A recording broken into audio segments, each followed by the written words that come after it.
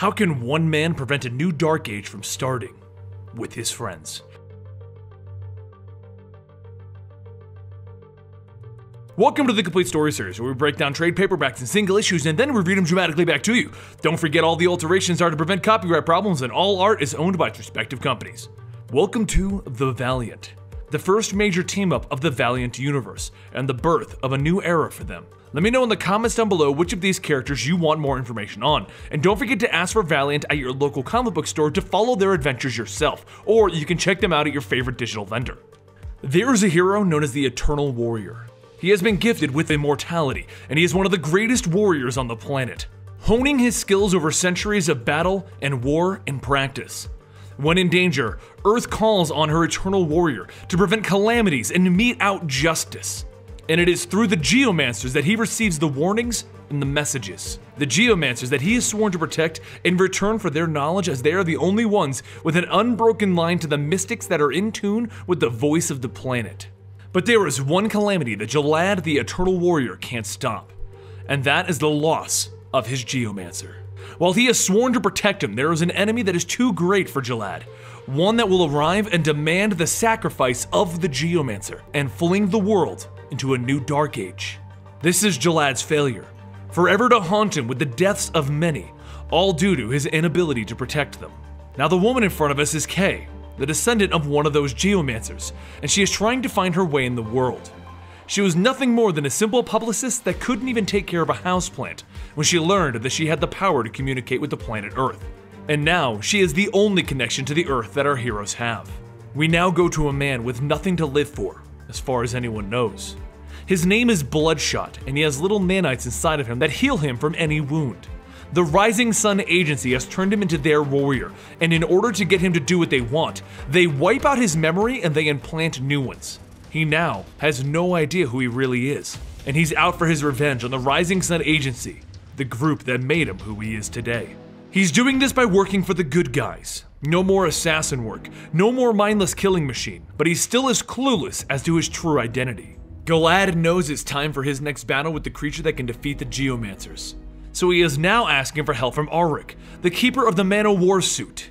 He was a soldier from the Roman days of true combat, abducted by aliens and forced into slave labor. He then led a rebellion against his alien masters and he stole their suit of armor, capable of incredible things and he returned in the year 2015, where he now battles against the evils to protect the planet. A warrior misplaced from his own era. Aric asks Gilad why he's telling him about his failures now, why inform him of these terrible losses, and Gilad tells Aric because he feels that it is time to begin again. But this time, he has his friends. This time, he's going to get help. Gilad is more right than he knows though, because the greatest evil this world has ever seen has awoken, and it's looking for Kay. Without realizing that the immortal enemy has awoken, Gilad teams up with Ninjak, a ninja that is also an MI6 agent to find a way to open the box. An ancient locked box that Bloodshot found, that they hope can be used against the immortal enemy. But in order to get in there, they need to get the Breaker to do it, an old man with the ability to open anything. But as they retrieve their target and begin to head back to the box, Gilad and Ninjak get a message that they are too late. The immortal enemy has awoken. Back with Kay, a man in a bowler hat, white hair, and a cane approaches her. He has the appearance of one of the things that terrified her in her childhood Mr. Flay, a story monster. He walks over to Kay and he tells her, Now, dearest princess, call me Mr. Flay, as his eyes glow bright with evil.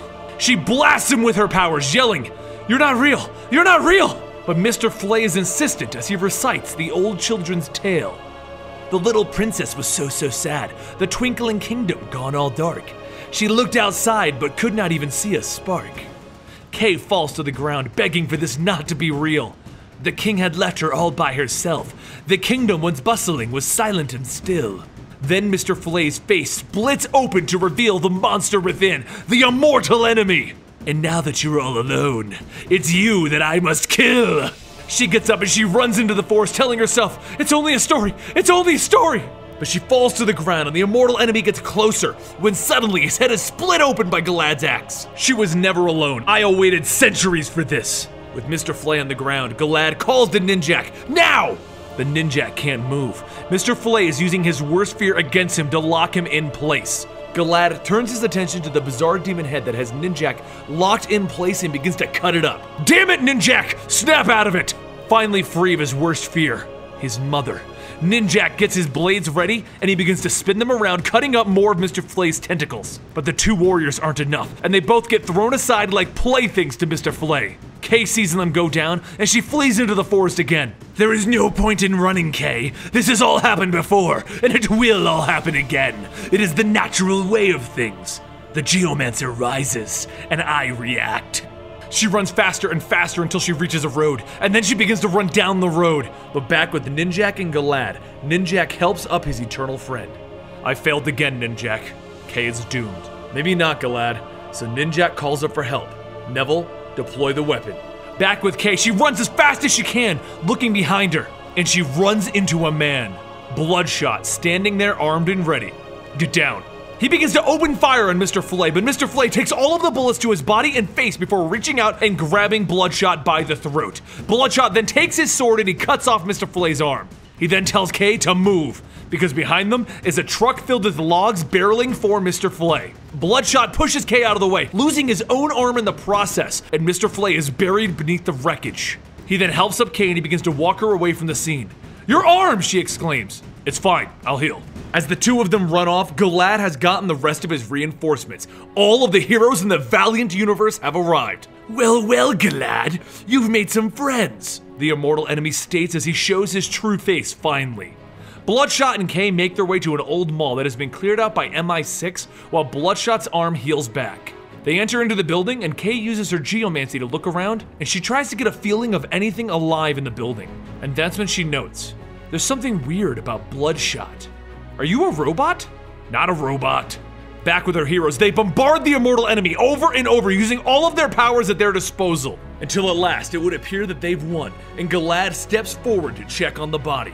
When suddenly, the immortal enemy gets up again and asks, Are you done yet? He then gets up and unleashes hell on Earth as our warriors' greatest fears come back to tear them down. Over with Bloodshot and Kay, they're snacking on beef jerky because Bloodshot needs to feed his nanites protein to get a continual healing effect. Curious about what the nanites are that are inside of our hero, she questions Bloodshot. What are those inside of you? He explains that he was made by Project Rising Sun, and he has no memory of his past. After they talk for a bit, Kay mentions that she can feel the nanites in there, but they feel like they don't belong. She begins to pull them out of Bloodshot, clean his system. But as she's about to turn him human again, she stops and tells him, Mr. Flay is coming. He has finished with the Eternal Warrior and his friends. But things might actually turn in the favor of our heroes soon enough, because the box that they retrieved the breaker for has been cracked. It turns out that the box was a message from Gilad to Gilad from the future. And he informs MI6 and Gate that Gilad is the only one that can open the box. While they work their way to get Gilad to the base, Bloodshot and Kay are running through the mall trying to stop Mr. Flay. But nothing can stop Mr. Flay as he snaps Bloodshot's neck around. He then walks up to Kay, ready to make the kill, when Bloodshot shoots Mr. Flay through the skull. Kay turns to him to see that his neck is still twisted around. Bloodshot, your neck! Hold on, he says, turning his own head back around. That's disgusting! Mr. Flay then gets back up. Well, aren't you resilient? Let's see what lurks in that little head of yours. Your past, your nightmares. And Bloodshot just stares at him. That trick isn't gonna work on me. And he shoots Mr. Flay in the head again before running off with Kay. They run into the back room, where Kay realizes that it's time to stop. He's just going to keep chasing them. This is pointless. But Bloodshot tells her, this is what they were made for. He's a soldier and she's a geomancer. There isn't any use in crying about it. Up with Gilad and Ninjak back at the gate base, they open the box to reveal a timer inside. A timer that says that it has five minutes left and down with Bloodshot and Kay. Mr. Flay comes barreling through the wall where he spears Bloodshot through the stomach. Kay's had enough, and she begins to bring the entire Earth against Mr. Flay as she begins to use her Geomancer powers. She begins to throw everything at him, and he laughs. I can't believe that there's finally a Geomancer with a spine! I've waited eons for one that's not going to cower in the end! But the thing about spines is that they can be broken, and he mortally wounds her across the stomach with a single finger. Bloodshot gets back up and he begins to open fire at Mr. Flay. But it's too late, as Mr. Flay just fades back into the ether. He only had one purpose, and it's done. Over with Gilad and Ninjak, they're standing at the box, staring at the timer as it begins its final countdown. Back in the mall, Kay reaches up for Bloodshot. Your name is Ray Garrison. The nanites told me when I looked into you. Ray is a much better name than Bloodshot. It rhymes with K. Back with Gilad, tears begin to stream down his face as the box finally opens, and everyone looks in shock inside at the young girl that's asleep, the new Geomancer. Bloodshot holds the dying Kay close, and he apologizes. He was supposed to save her. He failed in his mission. But Kay holds her hands to his face. I don't think you were. I think this was supposed to happen. And those little robots, they shouldn't be there. I think I was supposed to save you, Ray. And she purges every nanite out of his system, revealing Ray Garrison, the man behind Bloodshot, as she dies in his arms. Our tale ends there. Gilad took the new Geomancer to teach her the ways and keep the new Dark Age from starting. But he isn't really sure if they won or lost. They lost Kay, but they got a new Geomancer right then and there. And Bloodshot? No one's seen him since the incident. He took a baseball cap and he walked off. Ninjak wanted to find him, but Gilad thought it was time for Bloodshot to get a little rest. He's earned it. The story doesn't end there though. If you want to follow Bloodshot, a new series was recently started called Bloodshot Reborn that explores his continued journey. And the Eternal Warrior now has a new purpose in guarding this young girl.